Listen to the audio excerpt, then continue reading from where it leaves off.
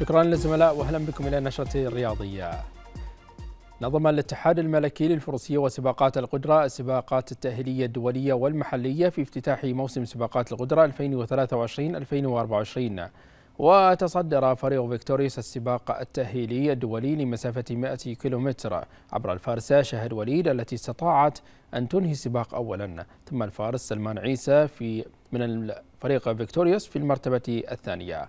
وحلت في المركز الثالث الفارسة منال مجيد من نفس الفريق وشهدت السباقات التأهيلية مشاركة واسعة وصلت إلى 157 فارسا وفارسة.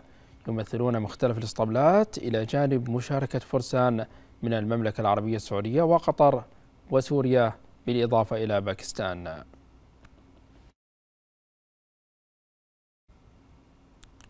نظمت حلبة البحرين الدولية موطن رياضة السيارات في الشرق الأوسط سباق بابكو إنرجي. حفل الانطلاق الرسمي لهذا السباق للتحمل ثماني ساعات والذي سينطلق في الثالث والرابع من نوفمبر المقبل.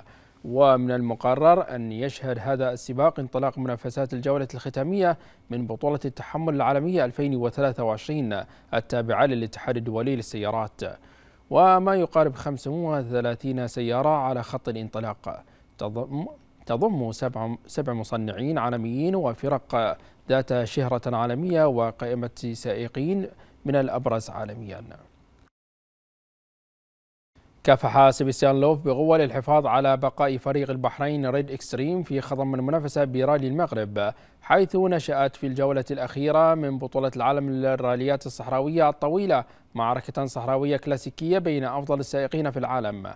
وسجل لوب بسيارة برودرايف هانتر البحريني ريد إكستريم ثالث أسرع زمن في المرحلة الثانية من الرالي والتي بلغ طولها 296 كيلومترا. وكان أورلي زميل لوب بالفريق الحائز على المركز الثاني في رالي المغرب العام الماضي محظوظا تماما. فقد قام بقيادة رائعة بسيارته ولكنه عانى من مشاكل في الأجهزة التعليق في الجزء الأول مما أجبره على التوقف لانتظار قطع الغيار لمواصلة باقي المرحلة.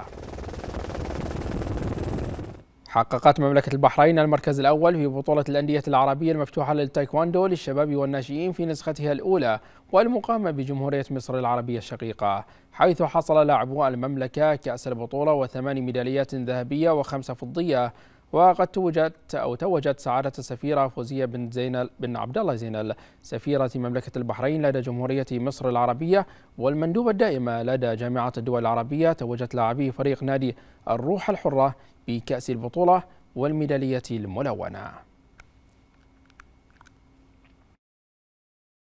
فرضت العداء وينفرد يافي نفسها على الساحة العالمية والقارية في عام 2023 ليتم اختيارها من قبل الاتحاد الدولي لألعاب القوى ضمن قائمة أفضل 11 عداء عالمية. يتم التصويت عليهن لاختيار إحداهن كأفضل عداء في العالم لهذا العام.